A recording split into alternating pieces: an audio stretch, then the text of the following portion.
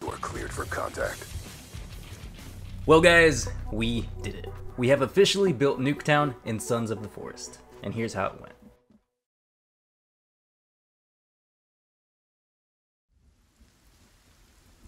I got a comment the other day saying sometimes the worst ideas are the best ideas, and then I had the idea to build Nuketown. So that's what we're going to be doing today. We're definitely going to need a lot of open space because it's a pretty flat map, so we're going to be building it here in the golf course. There's decent enough space to move around here, and realistically, as long as we don't reach this edge, we should be set. To start everything off, I think I'm going to start with that one significant trailer, just because it seems relatively easy, but I'm going to place it right here where this golf cart is.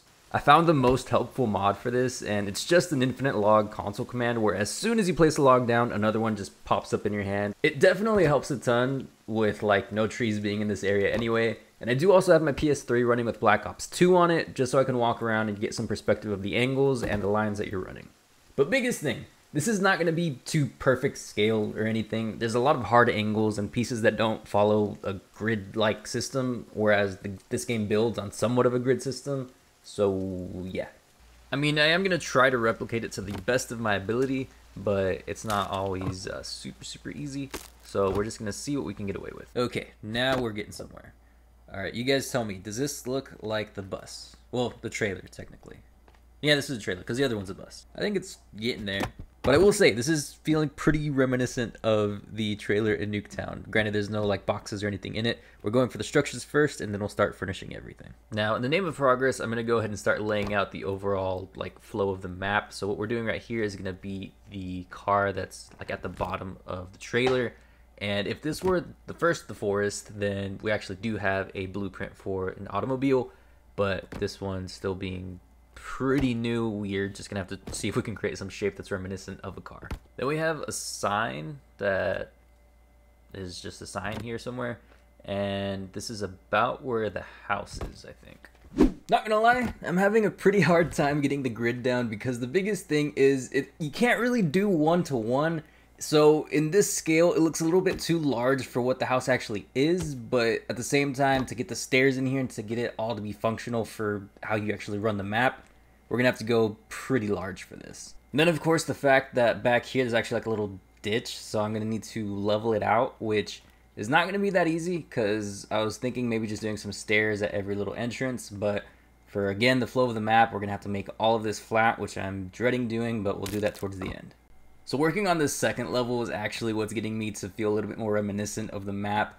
Because the bottom floor, you're not going to really mess with too much in the sense that you know it has the entryways has the doors and everything but because the space is so large you're basically going to run right through it however this second floor with the stairs with the entryway that we're going to make and then the focus on the one room with the window that you can overlook the entirety of the map that's what i'm really excited about but just like on an actual building scope this is actually pretty solid you know you got the bus right there you got the house with the big window up there you got the little garage section to the left, so I'm actually pretty happy with how it's coming out. So that's a pretty good start for the balcony, if I do say so myself. Now, I'm sorry I'm not walking you through like every little detail of this whole thing.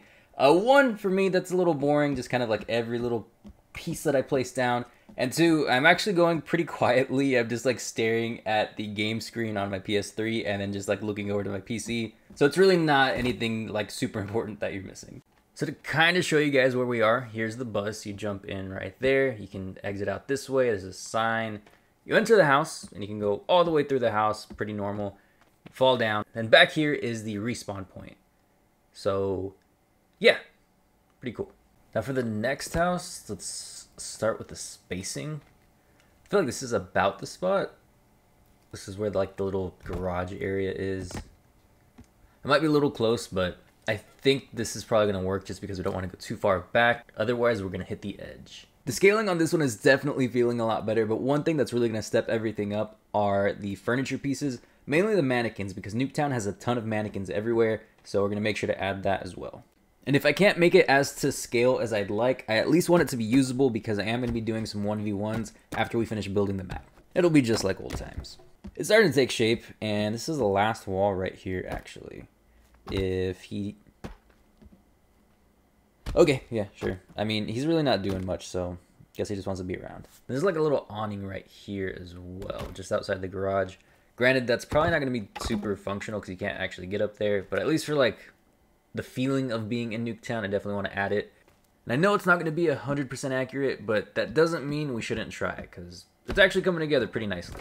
A few moments later. So it took some time just for the sake of progress, and I'm honestly really happy with how it's coming together. So right here off to the corner, this is the actual sandbox little area, the little playground that has a swing set. This is one of the spawn points for the map. Then you can see over here to the side, we have this other spawn point, which is like a little walled off area.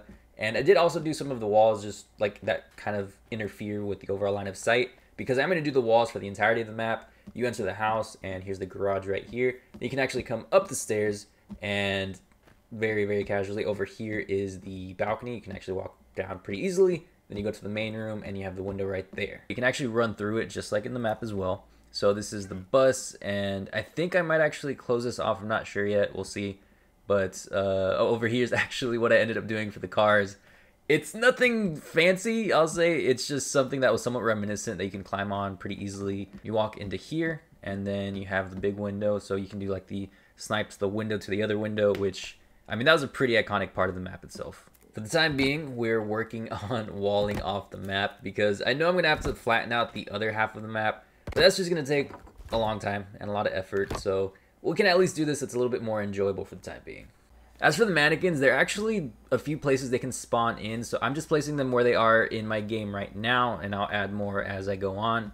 However, I'm kind of stepping away and coming back from this just because this is taking a little bit more time than I thought, but it's actually looking pretty good, and the next shot will probably be done just because I'm probably just going to hammer it out if I can't sleep. And guys, this is the last log of the map. So we are done building Nuketown. So I did flatten out this entire area back here just so it was as usable as possible and you weren't like having to jump up, go up all these stairs and everything. This definitely took a lot longer than anticipated, but I will say I'm not going to give you like a full tour of the map just like this, just because we're about to do some 1v1s with Andrew. He's going to load into the game. We're going to be doing a bunch of different weapons. And in that, you'll get a good sense of the map and everything that we did. Well, that I did. He was just moral support, basically.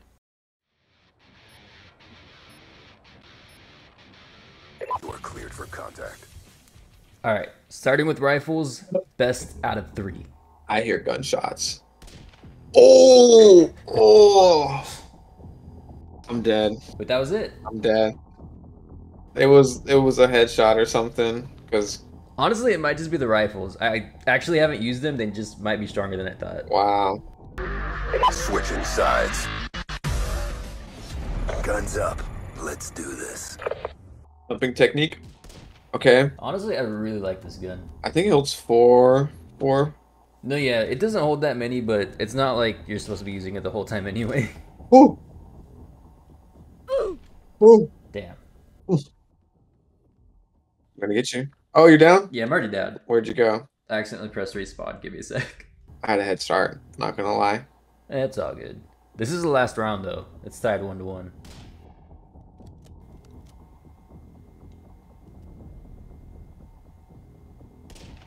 Oh, oh, yeah. Wait, there's no way that hit. oh, oh. Dude, that was like the smallest peek, too. Mhm. Maybe I'm just that good. I'm really not, though. Yeah, I know these shotguns pack a punch, so using armor, I think, will make it more fun. How do I look? Very ugly. 20 years younger, I bet. Ready? Ready as I'll ever be. Awesome. I'm not sure. Woo! Oh, oh, oh. Ow. I like how you say ow like it's actually hurting you every time I hit. The fact that you can kind of like half climb things is kind of like Black Ops 3. Coming for you. Never mind, mind Kelvin. oh no, no, oh, hit him. Oh, he took a shot. I got him. And I got the revive. I don't know how I'm not dying. Yeah, I feel like I keep hitting you and it just your armor is just too strong. I'm only at one right now, so it's not not looking very ideal Yeah, for me. four. You have four? Oh, I forgot to reload. I forgot to reload. this is what it goes. Yep, this is the end. I'm here. All right. ah, it was that armor. It was that armor. Loser buys the winner. G Fuel. G Fuel. If I win, can I get a Red Bull? Sure, Awesome. if that's what you wish for. It is. I I like Red Bull better. But to be sugar free. If anything, the pear was my absolute favorite flavor, Mm. but they discontinued it for whatever reason, and that was just perfection right there. Wait, we both down. Yeah, let's go. Let's go. The draw. All right, I'll take that. I'll take that. Wait, does that mean we buy each other drinks? Okay. The rain and the fact that it's night, it kind of feels like Nuketown Zombies. I got an idea. Nah, I mean, if this video does well, we can do like Black Ops Zombies, but all the zombies are Kelvin. We got the map, so like, might as well use it, right? Ah, I gotta reel it. I gotta reel it. Oh, that's it. I'm done. Yo, it is barely hurting me. I, I feel like for how many times I've hit you, your armor is not accurate to how much damage you've taken. Oh. What? How do I have so much health? I never really realized how many different weapons there are in this game. Oh, I heard that pass right by me. Oh. it takes a while to wind that up. It takes a good bit, but it does pack a good punch. I think you got it right. Wow, we literally just did a circle. Surprise. ha! Tries to revive you, it just ends up taking all the crossbow bolts on your body. Final round. Melee and grenade. Guns up. Let's do this. I don't remember if I had the setting on or off for building damage, but we are Uh-oh. about to find out. Uh-oh. Uh. Uh-oh. Already? That was like the fastest round. Yeah. Okay, attempt number 14. That's it. Take us Is out with a trick shot. Okay, number 14. A, a dividend of seven. Let's go. Oh, Oh, brother, this guy stinks! yeah.